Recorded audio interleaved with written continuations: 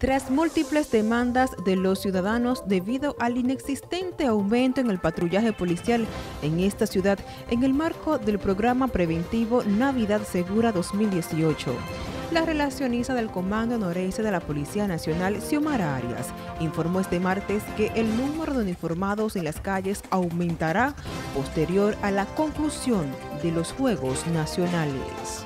Desde ya inició lo que es el operativo Navidad Tranquila, Navidad Segura. Ya hace varios días han llegado parte de los refuerzos aquí en San Francisco de Macorís, quienes estarán cubriendo lo que son los centros comerciales, negocio de expendio de bebidas alcohólicas, las salidas, bancos, entre otros negocios.